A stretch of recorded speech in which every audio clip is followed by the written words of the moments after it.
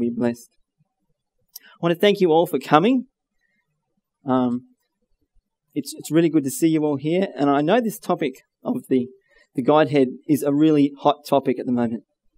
Um, and it's a, unfortunately a very controversial one. Particularly seeing very recently, we've had certain individuals from America over here sharing their um, perspective on things. And it's likely that many of you have been confronted with different ideas about God, and you have questions in your minds, and you want to have answers. So today I want to share with you some of my journey, my story, with the hope that it will help you understand in your journey about God. Before we start, I just want to say a word of prayer. Brian's already prayed, but I just want to pray and dedicate myself to the Lord this way. So please bow with me.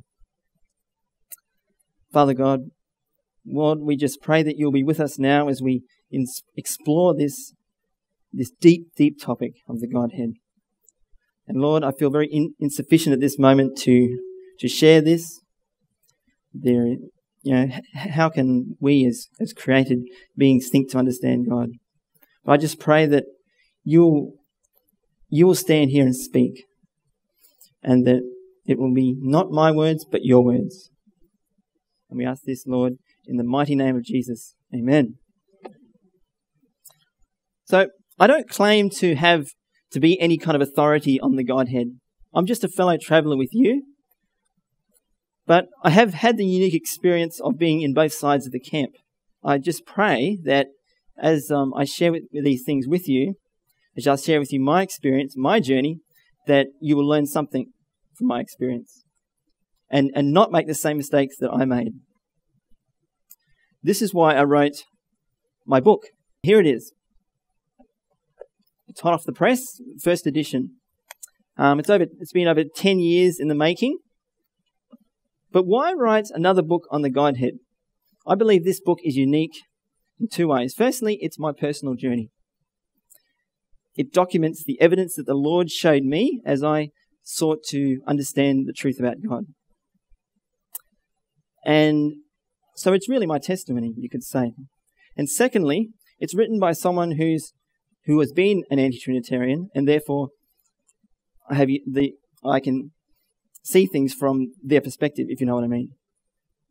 Uh, often, when I read books about the Godhead, sometimes their arguments didn't make sense to me because they were coming at it from a different angle. Now, I have a confession to make. The title is Understanding the Godhead. The more I study about the Godhead, the less I feel like I understand God, if you know what I mean. The more you know, the more you realize how much you don't know. But this picture that you see here of light coming into a canyon really sums up my experience. Because, figuratively speaking, while we're here on this earth, we're all down in this dark canyon. Not until we are translated will we will be able to bask in the undimmed rays of the glory of God. Till then, there are many things we must accept by faith. This, this book has been reviewed by Pastor Athal Tolhurst, who was the former Undersecretary of the General Conference, who has since passed away. His insight was greatly appreciated, and he's also written the foreword for this book, of which I'm very grateful. So let me now take you back on a bit of a journey just to show you my background, where I came from. I was raised by God fearing Seventh day Adventist parents. In fact, I'm third generation. And I want to pause here to acknowledge the amazing job that my parents did in raising me. If it wasn't for their hard work, I wouldn't, I would not be standing here before you today, I can assure you. But I was raised believing the traditional understanding, the traditional view of the Godhead, which the church holds today. Three eternal persons, self existent in one Godhead Father, Son, and Holy Spirit. But in the early days, I never really studied these things for myself. I just accepted it because my church taught it. That's what my parents taught me. And I just believed it. Then in my teens, my family were introduced to this non Trinitarian view of God. In this teaching, God the Father was the supreme God, self existent, eternal. The Son was also God, but he was a lesser God in some way. He was literally begotten or brought into existence by the Father far back in the ages of eternity, and he inherited all the titles of deity from his Father. The Holy Spirit was not a person like the Father and the Son, but he was but the Holy Spirit was the spirit, mind, and power of the Father and the Son. I resisted the idea at first, it just didn't seem right to me. But I studied it, I studied it, and listening to, to lots of videos, DVDs, um, studying with friends, it, was, it, it didn't happen overnight, it was a long process. Eventually, my whole family changed our view to the anti Trinitarian view of God. And I became a staunch anti Trinitarian. And I used to love to debate with people. I used to get on internet forums and share my ideas, and many people couldn't answer my arguments. I thought I was closer to God because the anti Trinitarian concept of God seemed to help me to understand God more. It appealed to my emotions more. Um, the, the literal father son um, rela- um, relationship was more realistic to my human understanding. And I thought it seemed to help me understand the greatness of God's sacrifice. But it didn't last. After the novelty of this whole idea, this new belief wore off, I found myself no different spiritually than I was before. In fact, it developed a critical spirit in me of the church and of others, and it actually ended up dragging me down spiritually. And then there was those nagging problems in the back of my mind. Problems like clear Bible and spirit of prophecy statements that just didn't fit. Um, even we had to explain them away as less clear state with, with less clear statements or we had to we had to say that the quotes had been tampered with. And then there was El, that's Ellen White's statement where Ellen White says that the nature of the Holy Spirit is a mystery. And here we were trying to explain it. And then this it was claimed that this teaching brought people closer to God. In fact, this is one of the main arguments that it, it brings forward today that you can, that you can relate to Him better when you believe this doctrine they will say that believing in a three person Godhead means that you believe in a make up gospel, an artificial gospel. And they will say that if you accept their uh, t- teaching, the teaching of uh, it's called the one true God movement, is what they're calling it now, that it will take your relationship with God to the next level. This is what that they teach, and this is what I believed that it would do for me. But I did not see any proof of this in the lives of the people that held this doctrine.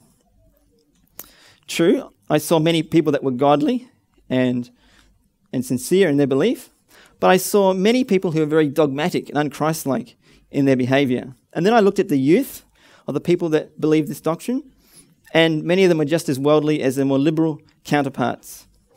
In my own life, I first thought I was closer to God, but as I said, it was short lived. And I met many, many sincere, upright, godly people who believed in a three person Godhead.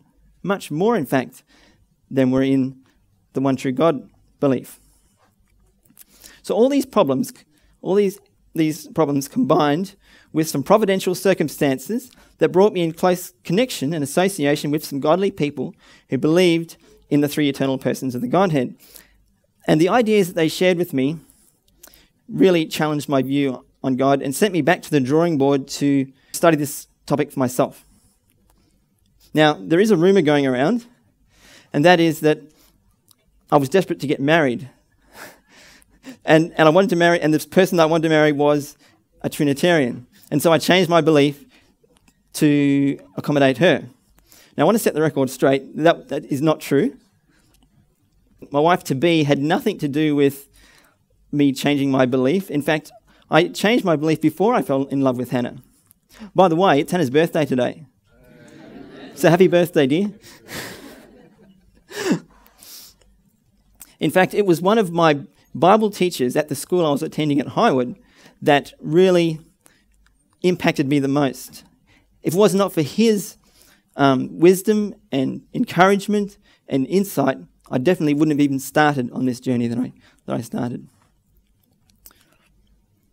So I'm going to sh- share with you some truths that the Lord taught me um, in, my efforts, in my search for truth. During this talk, I'm going to be quoting a lot from the writings of Ellen White. And I believe that Ellen White is inspired of God.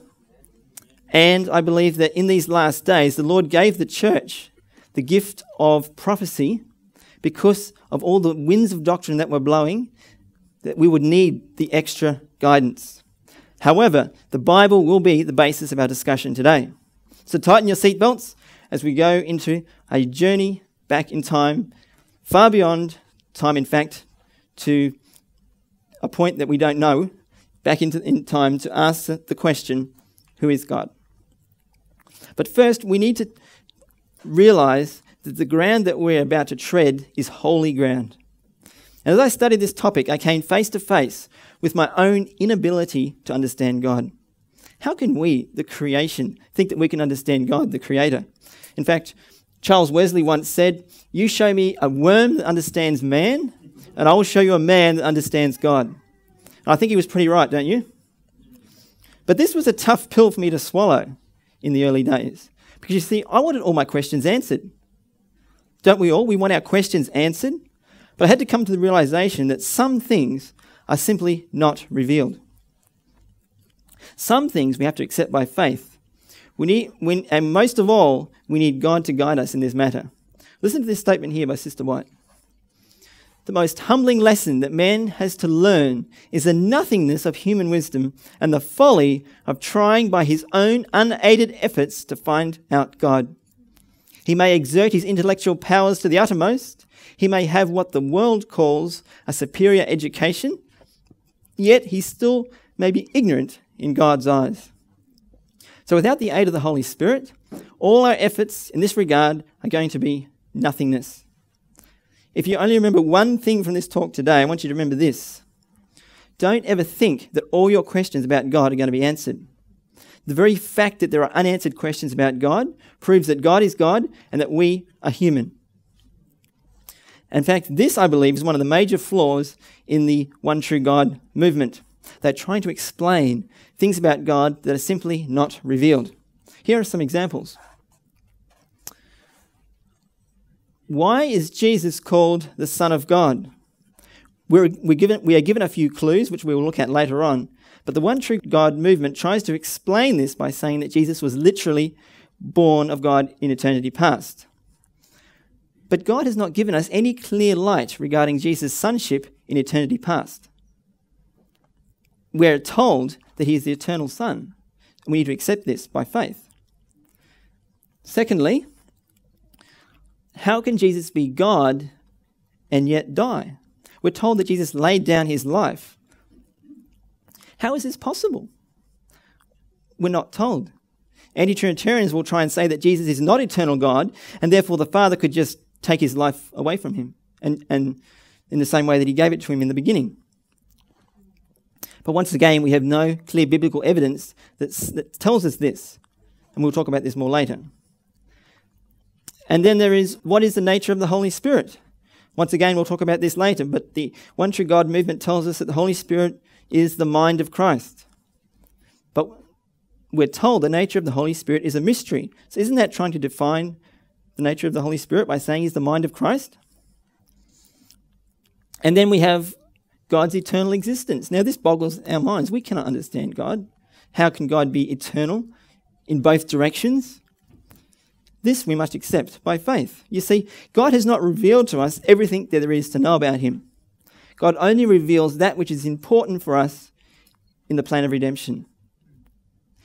In fact, Ellen White tells us that the central theme of the Bible, the theme about which every other in the whole book clusters, is the redemption plan, the restoration of the human soul in the image of God. He who grasps this thought has before him an infinite field of study. He has the key that will unlock to him the whole treasure house of God's Word. And this is another very important principle that we need to understand when we study the Godhead. And that is that God only reveals that which is important for our salvation. All the names of God in the Bible are given to us to reveal something about the plan of redemption. That is the focus. So, in my quest to understand God, there were three key questions that I had to set straight in my mind. First one was Is Christ eternal God like the Father? Secondly, is the Holy Spirit an individual person in his own right?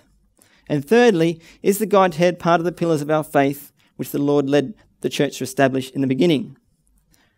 I'm going to try and cover the first two points in this session. We'll see how we go. If we could answer these three questions definitively, we could put this Godhead debate to rest. So let's look at the first one. Is Christ eternal God like the Father? Studying through the Bible from Genesis to Revelation, I found Jesus very clearly portrayed as God. Even as an anti Trinitarian, I firmly believed that Jesus was God. So the key question is not, is Jesus God? This is a, a question that both sides agree on. The question is, what does it mean to be God? What does the title of God mean? This is what I, need to I needed to answer. And in my study, I discovered two key attributes that separate God from all other beings in the universe. And they are number one, that He is creator and sustainer of all life. God made everything and He sustains everything moment by moment. And secondly, that He is eternal existent. In other words, He had no beginning. God exists independent of time, space, and matter. He has always existed. So let's start by looking at what God has to say about his creative power. When we open the Bible, the very first thing that God wants us to know about himself is the fact that he is our creator. In the beginning, God created the heavens and the earth. It is a fact that the Bible writers understood that creation, creating the world, was the key attribute of God. In fact, when the Bible writers were seeking to establish the divinity of Christ, this was often the first place they went to. And here are a couple of examples. John 1 1 and 3. In the beginning was the Word, and the Word was with God, and the Word was God. All things were made by him, and without him was not anything made that was made. And Colossians 1 16 and 18. By him, Christ, were all things created, that were in heaven, that were in earth, visible and invisible, whether they be thrones or dominions or principalities or powers. All things were created by him and for him, that in all things he might have the preeminence. So Christ is our creator. And if Christ created all things, isn't it fair to say that he would sustain us moment by moment? If his power brought us into existence, could not his power sustain us? Well, let's prove this from inspiration. Colossians 1 17. He, Christ, was before all things, and by him do all things consist. And John 15, 5, I am the vine, ye are the branches. He that abideth in me, and I in him, the same bringeth forth much fruit. For without me ye can do nothing. Listen to spirit of prophecy. All created beings live by the will and power of God. They are recipients of the life of the Son of God. However able and talented, however large their capacities, they are replenished from, with life from the source of all life. He is the spring, the fountain of life. Only he who alone hath immortality, dwelling in light and life, can say, I have power to lay down my life and power to take it again. So this quote tells us two things. Number one, Jesus is the source of all life. And secondly, that Jesus had the power to lay down his life and the power to take it again. Why am I emphasizing this? One of the fundamental teachings of the One True God movement is that is summed up in its title, One True God, implying that Jesus is not the one true God, that he's in some way a lesser God than the Father. And here is the main difference. They believe that Christ derived his life at some point from the Father. Therefore, the only truly self existent one is the Father. But I've just shown you three inspired statements that clearly show that Jesus is the source of all life. And there's more. In fact, one of my favorites is Desire of Ages, page 530. Now, this was a groundbreaking statement for our pioneers when it first came out. In fact, when M.L. Andreasen read this statement, he didn't believe that Ellen White wrote it. So he went to Ellen White's own archives and looked it up, and he found that she had indeed written it. And here it is Jesus declared, I am, note that word, I am the resurrection and the life. In Christ is life, original, unborrowed, underived. He that hath the Son hath life. The divinity of Christ is the believer's assurance of eternal life. Now, think about that last sentence. The divinity of Christ is the believer's assurance of eternal life. Now, if we lessen the divinity of Christ in any way, if we say that he is a lesser God than the Father, then what are we doing? Aren't we in jeopardizing our own eternal life? This quote tells us two very important things about God. Number one, that He is the I am. And we're going to talk about the I am as we go along. You see, I, I thought when I was a anti-Trinitarian that I believed that Jesus was God in every, every sense of the word. But when you start crunching the numbers, you realize that it actually doesn't add up. Here's why. This statement clearly links Jesus' divinity with his eternal existence. Can you see that? Ellen White is using three, what she uses in this statement, three words, all meaning very similar things, to describe the life of Christ. Now, what does original mean? Original means, and, and, by the way, these quotes, these definitions come from Webster's 1828 dictionary, which is a good dictionary to use when you're studying Ellen White, because it's written in her era. So, you know, English language changes over the years, but this is close to her era. This is in her era. Original means the fountain, the source, the cause, that which anything primarily precedes. And unborrowed is not borrowed, genuine original, native, one's own. And underived means not derived, not received from any foreign source. Ellen White is placing triple emphasis on the fact that Jesus' life did not come from someone else. In other words, he is the source of all life. He is God in every sense of the word. Now, if Jesus' life really did come from the Father, why on earth would God write something like that which, to confuse us. This statement shows us that in order for Christ to be fully divine, he needs to be eternal. Otherwise, you may as well class Christ with all the other angels and other created beings. As an anti Trinitarian, I'd read this statement many, many times. And we tried to explain it away by reading this statement here In him was life, original, unborrowed, underived. This life is not inherent in man. He can possess it only through Christ. He cannot earn it. It is given to him as a free gift if we will believe in Christ as his personal Saviour. So they say, see, Christ, we can receive it, original, unborrowed, underived life too. So if Christ can receive it, why can't we? Sorry, if, if we can receive it, why can't Christ? But hang on, is it really original, unborrowed, and underived life when we have it? Does this make any sense? Let's dig into this quote a little bit more and see what we can find. Let me read to you the rest of the quote. In him was life, the, and the life was the light of men.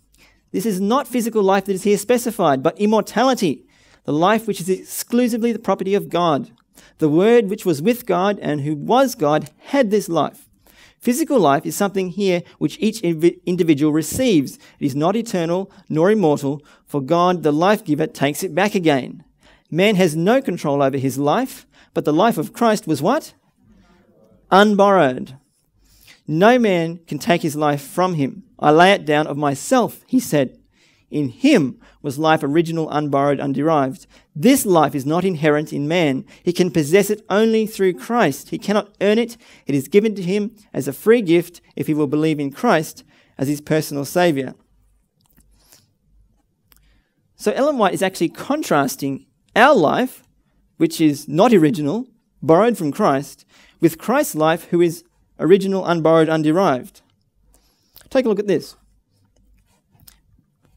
Christ has immortality. And I've color coded the quote down here so you can see where, where it's talking about Christ and where it's talking about us. Christ has immortality, man does not have immortality. The life of Christ was unborrowed. Man can possess this life only through Christ. In other words, it's borrowed.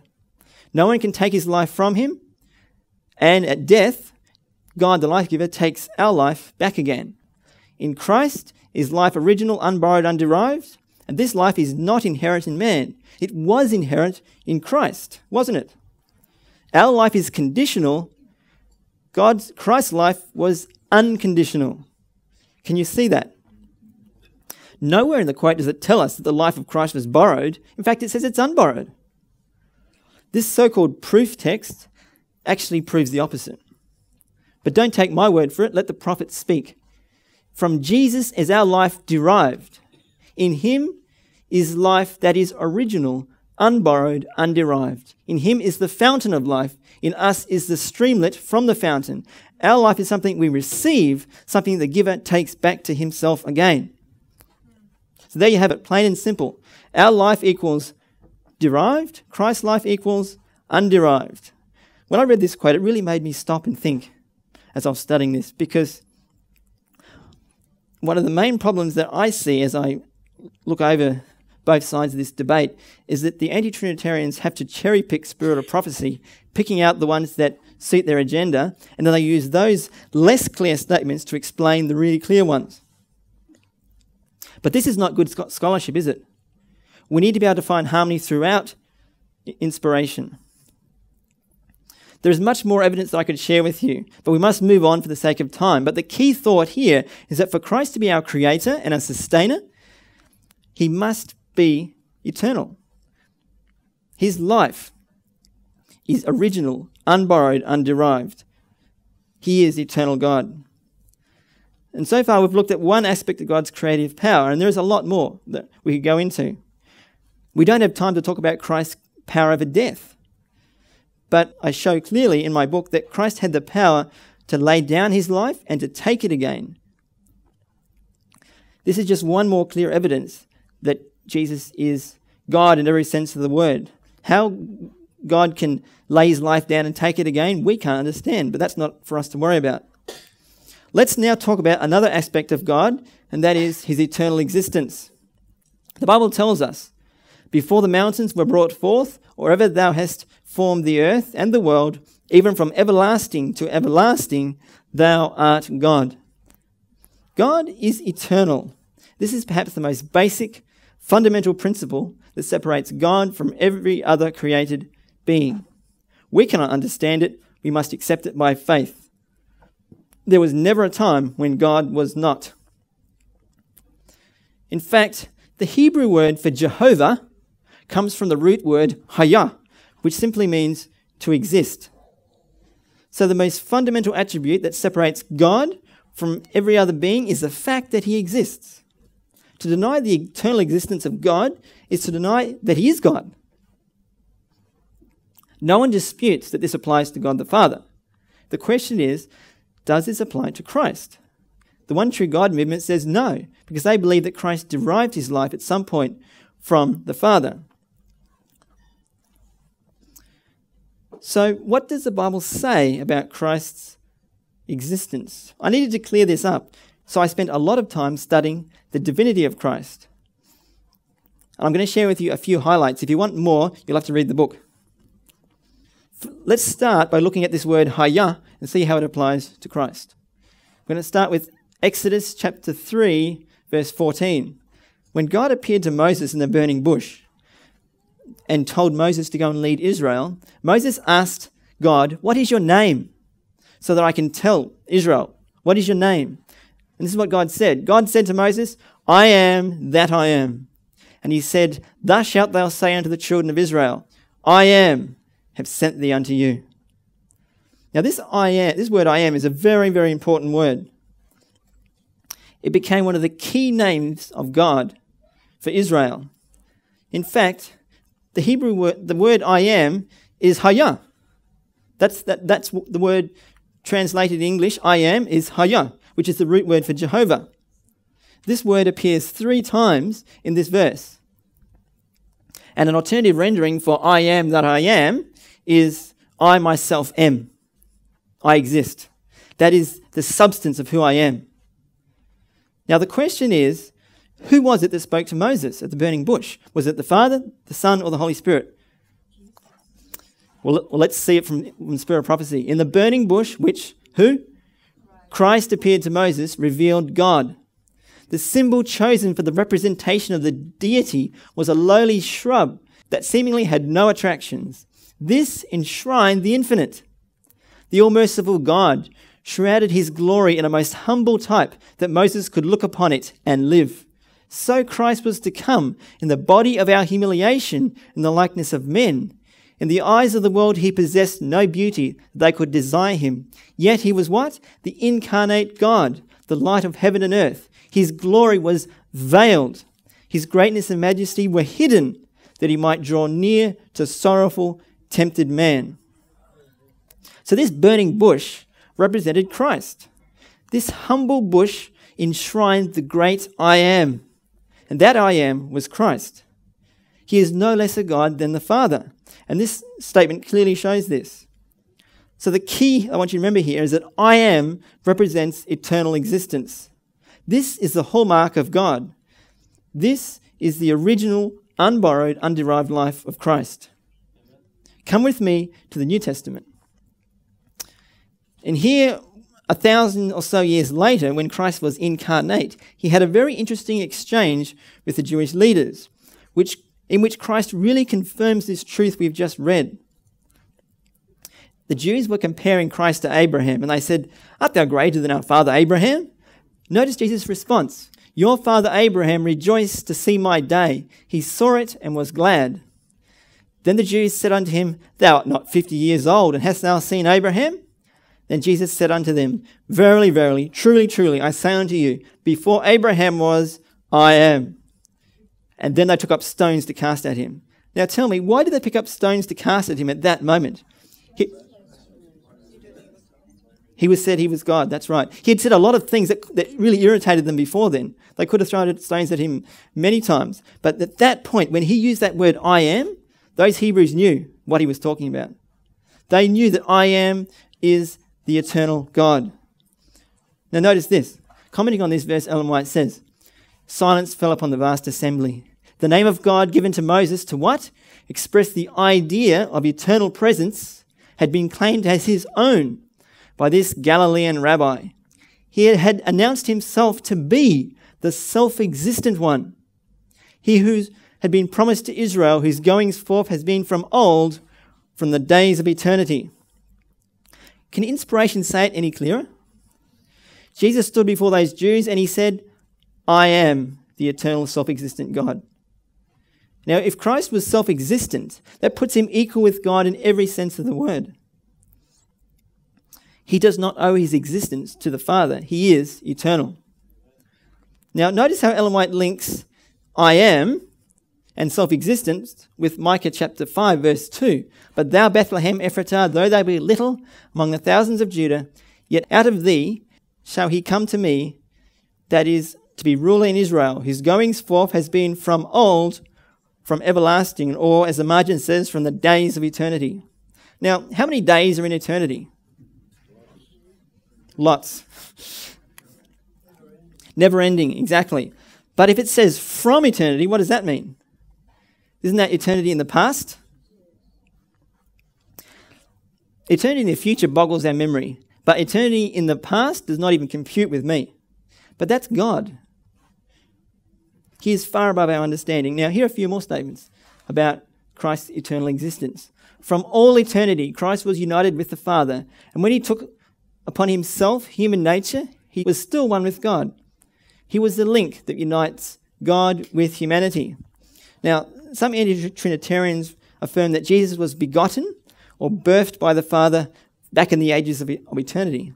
And they, they claim that eternity is this invisible line that we can't see beyond. And then Christ was, was, came into existence inside eternity and he came out from behind eternity and, and here he is eternal. But this quote tells us that Christ was from all eternity. Now, this is not just some of eternity, if that's even possible, if it's even possible to have some of eternity, but all means all without beginning. This next one is really amazing. I am he that liveth and was dead. Behold, I'm alive forevermore, and have the keys of hell and death. These wonderfully solemn and significant statements It was the source of all mercy, pardon, and peace and grace, the self existent, eternal, unchangeable one who appeared to his exiled servant on the isle that is called Patmos.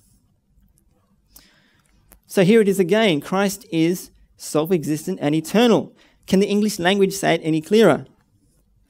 Jesus says, I, when Jesus says, I am he that liveth, he's saying, I am that I am. I myself exist. So the eternal, self existent one died, rose from the dead, and because of that, he has the keys of hell and death. If God raised him from the dead, how does that give him the keys of hell and death? So far, I've shared with you just a selection from what's in my book. But we need to move on. Now, the question is how do anti Trinitarians, the One True God movement, how do they explain these clear statements?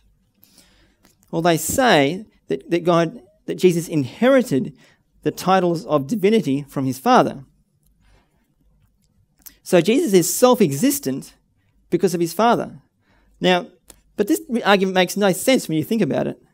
Now, if, if my father was 30 years old when I was born, can I say that I'm 60 years old when I'm actually only 30?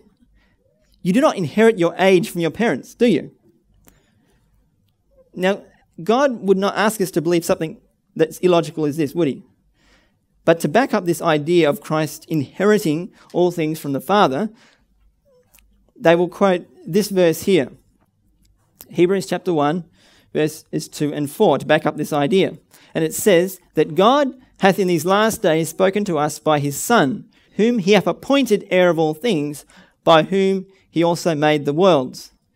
And verse 4 being made so much better than the angels, as he hath by inheritance obtained a more excellent name than they. So let's dig into this quote. What, what, does this verse really mean when he says that he was heir of all things and he obtained a more excellent name than the angels? To understand this quote, we need to understand the time frame that Paul is speaking. So let's look through the chapter and see what we can find. Verse 1 God, who at sundry times and in diverse manners spake in time past unto the fathers by the prophets. Now, verse 1 is obviously post incarnation. Verse 2 hath in these last days spoken to us by his Son, whom he hath appointed heir of all things, by whom he also made the worlds. And this verse here, it, we're not sure because it says both. It has pre incarnation and post. And verse 3 Who being in the brightness of his glory and the express image of his person, upholding all things by the word of his power, when he hath by himself purged our sins and sat down at the right hand of the majesty on high. I'm moving quickly, guys, because I've got a lot to cover. Well, once again, we have both post and pre incarnation here. So let's keep going and see if we can understand where this is going. Verse 4 Being made so much better than the angels, as he hath by inheritance obtained a more excellent name than they. And here's the key verse, verse 5 For unto which of the angels said he at any time, Thou art my son, this day have I begotten thee. And again, I will be unto him a father, and he will be to me a son. So, Paul is actually quoting here from Psalms chapter 2. So, in order to understand the time frame that Paul is speaking, we need to understand the context of Psalms chapter 2. So let's go to Psalms chapter 2 and see what we can find. Verse 1 Why do the heathen rage and the people imagine a vain thing? The kings of the earth set themselves, and the rulers take counsel against the Lord and against his anointed. Now, at what time, what point did the kings of the earth and the rulers take counsel and raise themselves up against Christ through and God? Far back in the ages of eternity? No, definitely not. What about at Calvary? That's the only time that wicked men got their hands on Christ. With that in mind, let's keep reading. Let us break, saying, Let us break their bands asunder, let us cast away their cords from us. He that sitteth in the heavens shall laugh, the Lord shall have them in derision. And he shall speak unto them in his wrath and vex them in his sore displeasure. Yet I've set my king upon my holy hill of Zion. Now, in the context of this verse, when was Christ set as the king on majesty on high? What about when he ascended back to heaven after he had been incarnate? Let's keep reading the next verse. I will declare the decree. The Lord hath said unto me, Thou art my son, this day have I begotten thee. So, in the context of this reading, when do you think the Father spoke these words to Christ? Far back in the ages of eternity? Doesn't fit the context, does it? The context is obviously post incarnation. So let's look at the next verse and see what we can see. Verse 8 Ask of me, and I'll give thee the heathen for thine what? Inheritance, and the utmost parts of the earth for thy possession. Now there's our word, inheritance. This is the word we're trying to understand in Hebrews chapter 1. Has anyone picked up any similarities between Hebrews chapter 1 and Psalms chapter 2? Well, if you haven't, let me show you. Both chapters are speaking about the same event. One is a prophecy, the other is speaking in hindsight. And here's what's happening. Christ has came to this earth as a man. The kings of the earth set themselves against him, against God through the person of Jesus Christ. They killed him, put him on the tomb, and put guards there to keep him in place. But God in heaven laughed at them, prophetic, poetically speaking. He put their plans to naught by sending an angel to, to raise Christ from the dead, or to call Christ from the dead, from the tomb. Christ ascended back to heaven as king of the holy hill of Zion, and then the Father declared, Thou art my Son, this day have I begotten thee. Now, what was Christ's inheritance? His inheritance, what made Jesus so much better than the angels? Psalms chapter um, 2, verse 8 tells us that it was the heathen and the world. That was his inheritance. When Christ died, he brought back the earth from Satan's dominion. And he won many of the heathen because of his sacrifice back to, to God. This was what made Christ so much better than the angels. This is what amazed the angels. The angels, when they saw Christ come and live as a man and die, they suddenly realized what Christ was really like, what God was really like. And this is what made Christ so much better than the angels in their minds. But we need some more evidence to set this in concrete. So let's go to the New Testament now.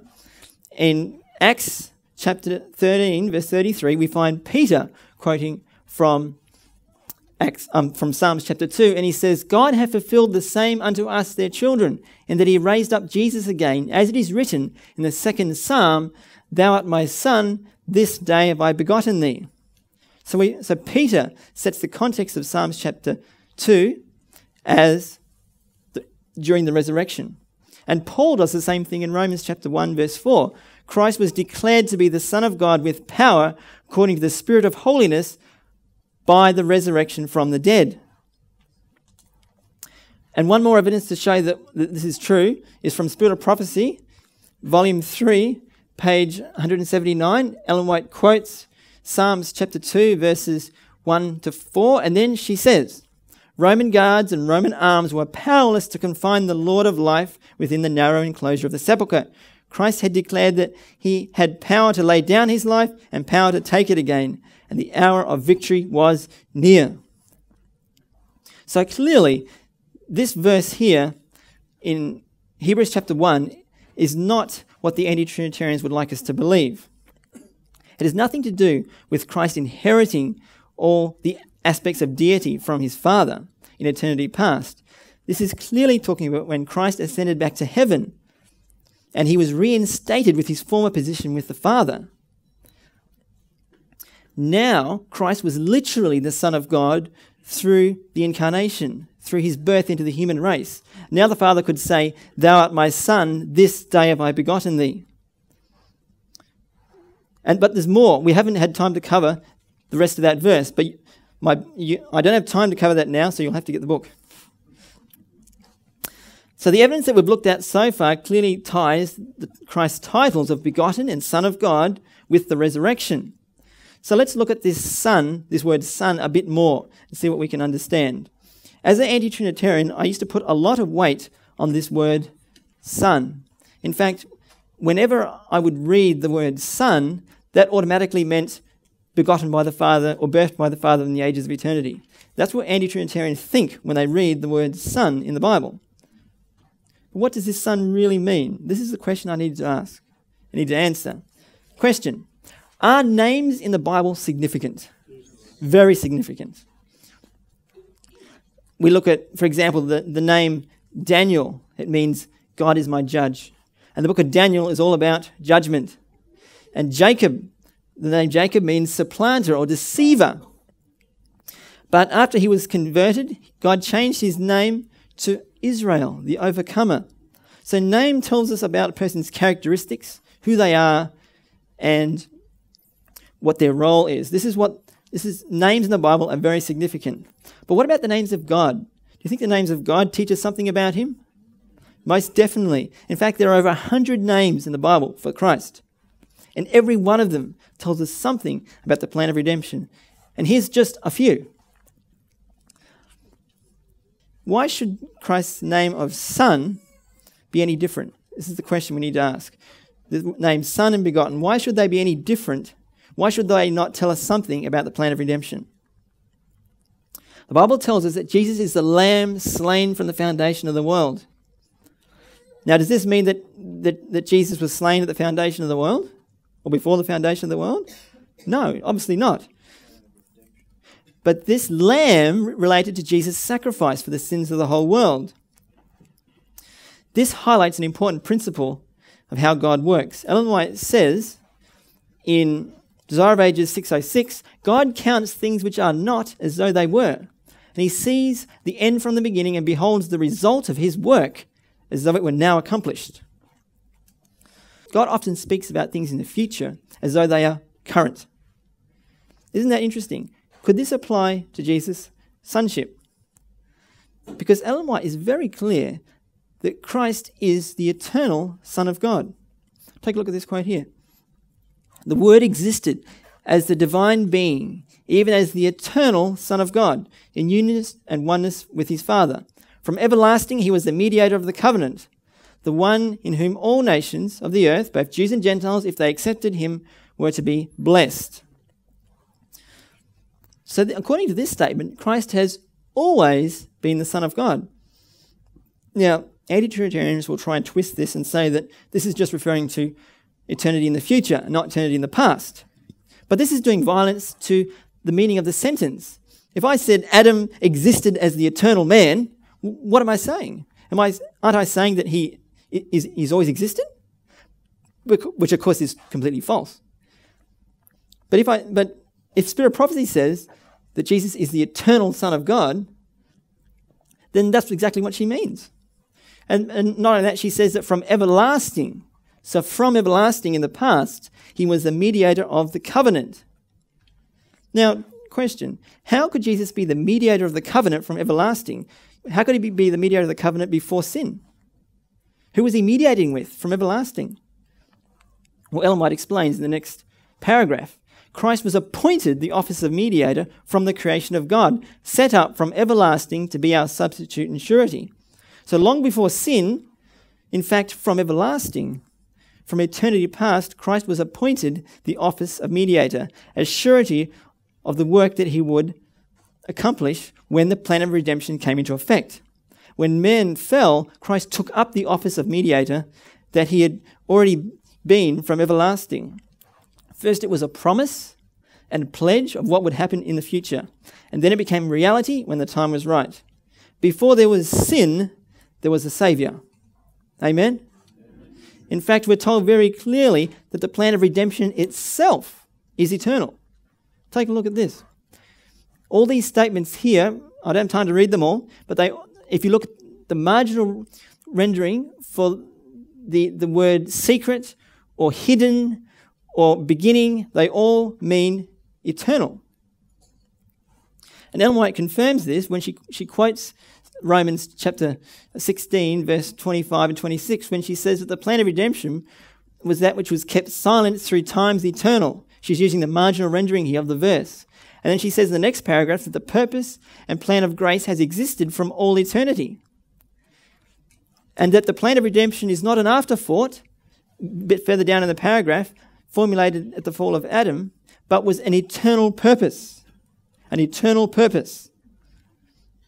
And another quick statement the, the plan of redemption has existed from all eternity, and it is called the everlasting covenant. So surely as there was never a time when God was not, so surely there was never a moment when it was not the delight of the eternal mind to manifest his grace to humanity. So the, the plan of redemption is eternal as God himself. Question Can we have an eternal plan of redemption, one that has always existed, without an eternal Saviour? It doesn't make sense, does it? What if the Father formed the plan of redemption in eternity past and then birthed the Son to fulfill the plan of redemption? What does that do to the Father's motives? It doesn't look good, does it? And, and, and then what if we take this logic a bit further and say, all right, the Father brought forth the Son to fulfill the plan of redemption. What if that, that plan of redemption failed? Do you think Christ, could, the Father could have brought forth another Son and tried again? Like, you could take this logic, you know, to the extreme if you wanted to. And another question why did not God go himself? Why did he send his Son? If God was really loved the world that much, why did not he go himself? But the fact is that God did go himself because Jesus is God in every sense of the word. So, if the plan of redemption is eternal, then Christ, who is the center of it, must also be eternal. And this helps us to understand why Christ is called the eternal Son of God.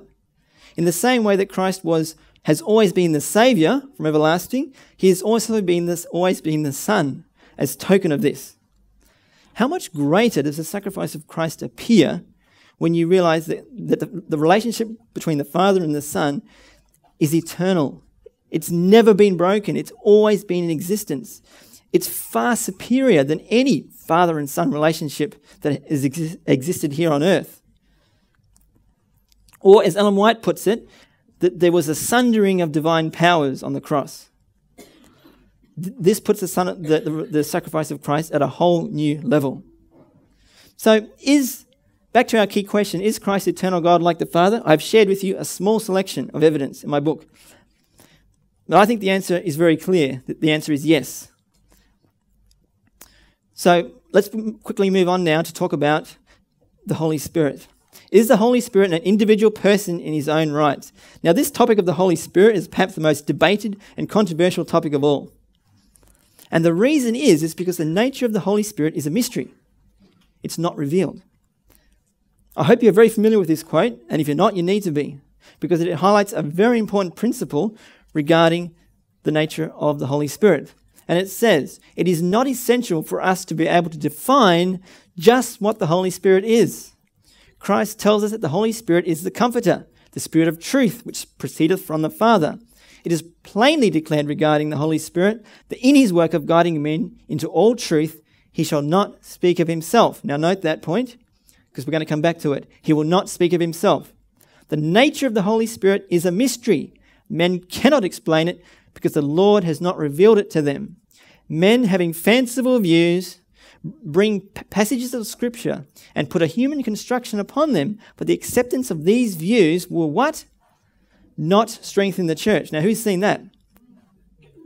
Regarding such mysteries, which are too deep for human understanding, silence is golden. Now, I just want to pull out a few points here. It is not essential for us to be able to define what the what the Holy Spirit is. So please do not argue about the nature of the Holy Spirit. It's not essential for us to define it. Secondly, in his work of guiding men to truth, he will not speak of himself. Now tell me, according to this quote, who is it that guides us into all truth? The Holy Spirit. If the Holy Spirit does not speak of himself, what truth would he reveal to us? The truth about Christ, right? Who, Christ is the truth, isn't he not? The Bible tells us Christ is the truth. So the Holy Spirit does not speak of himself, he speaks of Christ. Note that. Secondly, we're told the nature of the Holy Spirit is a mystery, the Lord has not revealed it. And I think both sides of this debate need to be really careful not to forget this fact. Anti Trinitarians will say that the Holy Spirit is the mind of Christ, but isn't that defining the nature of the Holy Spirit?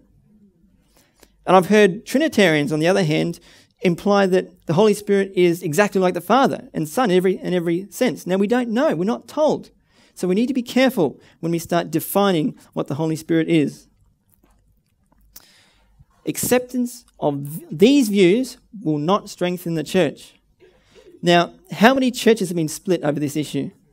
How many Adventists are leaving the church, either having their names removed themselves or being disfellowshipped because of this issue? Regarding such mysteries, silence is golden. So, th- does this mean that we should say nothing about the Holy Spirit? Well, let's read the next paragraph. The office of the Holy Spirit is distinctly specified in the words of Christ when he said, he, When he is to come, he would reprove the world of sin and of righteousness and judgment. It is the Holy Spirit that convicts the world of sin. Now, what does it say is distinctly specified?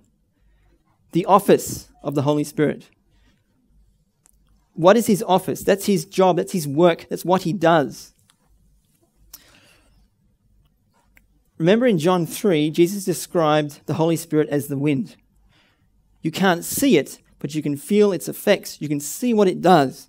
And this is another very, very important principle when it comes to understanding the Holy Spirit.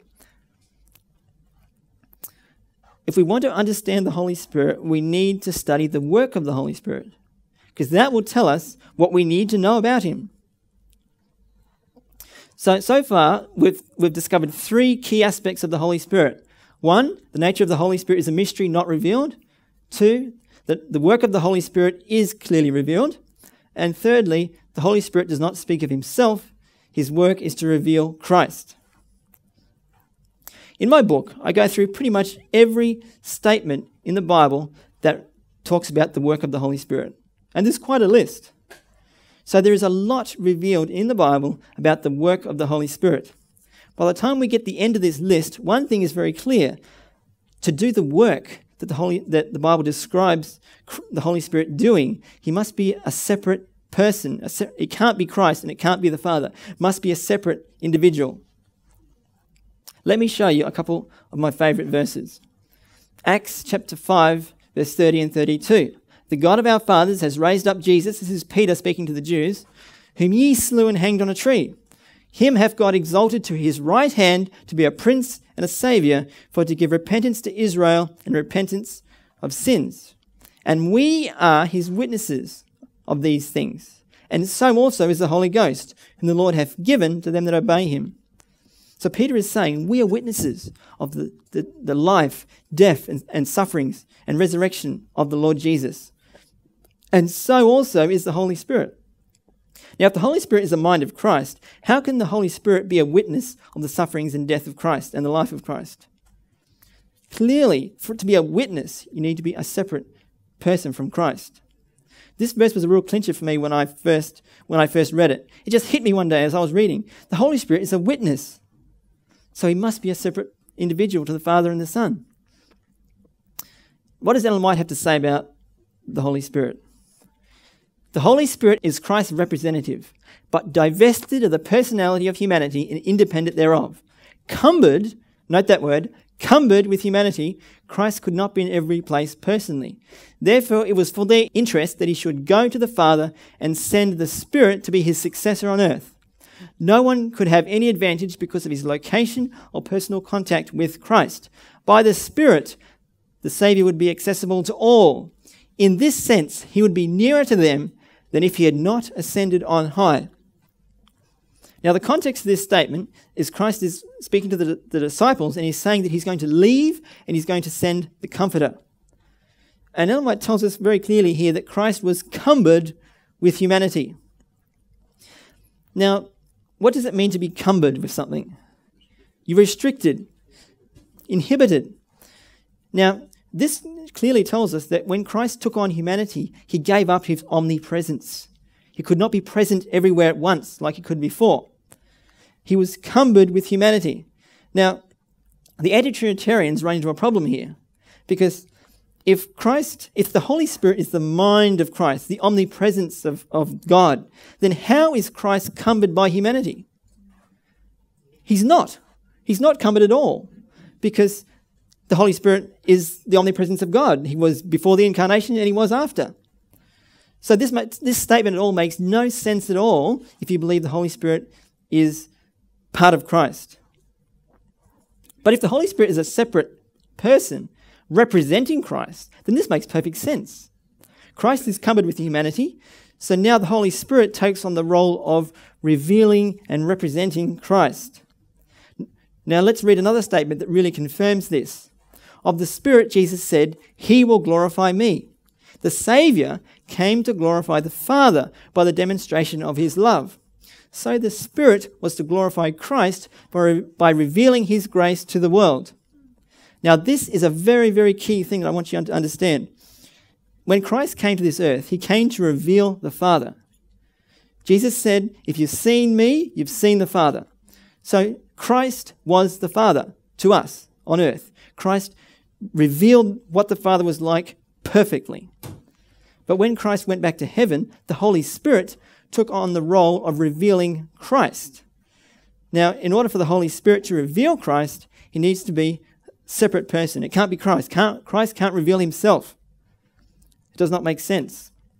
In fact, Jesus said in John 5, verse 30 and 31, I seek not my own will, but the will of the Father that sent me. If I bear witness of myself, my witness is not true. So, if Christ is the Holy Spirit, he's bearing testimony of himself, glorifying himself, revealing himself. If I was to stand up and, and testify of myself and tell you how good a person I am, you're not really going to listen to me, are you? But if someone else stood up and said, testified of me, of, then you might listen to that person, right? It's the same with Christ. Christ does not reveal himself, the Holy Spirit reveals Christ. Christ said of the Holy Spirit, Howbeit, when he, the Spirit of truth, is come, he will guide you into all truth. For he shall not speak of himself, but whatsoever he shall hear, that he will speak. And he will show you things to come. And he will glorify me, for he shall receive of mine and show it unto you. This is a very important key. The Holy Spirit does not speak of himself, he reveals Christ. There's no text in the Bible that says to worship the Holy Spirit that I'm aware of. And that's because the role of the Holy Spirit is not to be worshipped. The role of the Holy Spirit is to reveal Christ. So the Holy Spirit, in fact, his role is to personify Christ. Now, I have not made this word up. This word comes straight from inspiration. The Holy Spirit is the comforter in Christ's name. He personifies Christ, yet is a distinct personality. What does it mean to personify someone? Do, you take on the person's characteristics. You talk like them. You act like them. You are that person for all intents and purposes. So the Holy Spirit takes on Christ. The Holy Spirit, this is another spirit prophecy statement. The Holy Spirit comes to the world as Christ's representative. It not only speaks the truth, but it is the truth, the faithful and true witness. It is the great searcher of hearts and is acquainted with the characters of all. Now, who else is the truth and the true, faithful and true witness. Who else is that? It's Christ. So the Holy Spirit is taking on the names of Christ because the Holy Spirit is Christ's representative. Well, what about this one? We want the Holy Spirit, which is Christ. Now, this is a new statement that has come out recently since the Ellen White estate has released all Ellen White's unpublished letters. But we have no problem with this statement. The Holy Spirit to us is Christ. He's Christ's representative. He personifies Christ. Therefore, to us, the Holy Spirit is Christ. The unity in the Godhead is such we cannot split them up into separate little pieces. They work in perfect harmony together. And here's a few more. The Holy Spirit is a person, for he beareth witness with our spirits that we are children of God. Now, just in case someone has some doubts to the authenticity of this statement in evangelism, have a look at this. This is Ellen White's original handwriting. The Holy Spirit is a person, for he beareth witness with our spirit that we are children of God. It's in her own pen and ink. And in fact, in, in the appendix of my book, I have a whole stack of scans of Ellen White's original statements and, and manuscripts validating all these, many of these key statements. And here's another one. We need to realize that the Holy Spirit, who is just as much a person as God is a per- person, is walking these grounds, that God is our keeper and our helper. And one more. The Holy Spirit must be a divine person, else he could not search out the secrets hidden in the mind of God. I could, I could share you more, but time is against us. But there's one more statement that I really want to share with you. And that is this one here Christ, our mediator, and the Holy Spirit are constantly interceding on man's behalf. But the Spirit pleads for us, not as does Christ, who presents his blood shed from the foundation of the world. The Spirit works upon our hearts, drawing out prayers of penitence, praise, and thanksgiving. The gratitude that flows from our lips is the result of the Spirit's striking the chords of the soul in holy memories, awakening music in the soul. Now, can you get a clearer statement than that regarding the Holy Spirit and Christ as two separate individuals? We've got Christ interceding before the Father at the throne, and we've got the Holy Spirit who's also interceding, but in a different way. The Holy Spirit intercedes by drawing out our prayers and penitence. He works here on our hearts. This is very clear. The Holy Spirit works and Christ works. They have separate roles. Now, this quote makes no sense at all if you believe that the Holy Spirit and Christ are the same being. So, why did I leave the anti Trinitarian movement? The evidence just didn't stack up when I put it to the test with an open mind. But I'm actually jumping ahead of myself here because there is more. There was, before I was ready to make a complete change, I needed to answer another question. And that was what about the pioneers? Was the, the, the Godhead part of the fundamental beliefs that were established early on in, in the history of our church? But this will be the subject of our next presentation. It's a fascinating journey back into the history of our pioneers, so don't miss it. Let's pray. Father God, Thank you for revealing yourself clearly to us through your Son, Jesus Christ. And thank you for the work of the Holy Spirit that clearly reveals to Christ to us. And I pray that as we seek to understand you more, that you will reveal yourself to us, not to satisfy our curiosity, but so that we can have a deeper love for you and be ultimately ready when you come back to take us home. Bless us now and be with us and bring us all back safely for this next session, we pray. In Jesus' name we pray. Amen.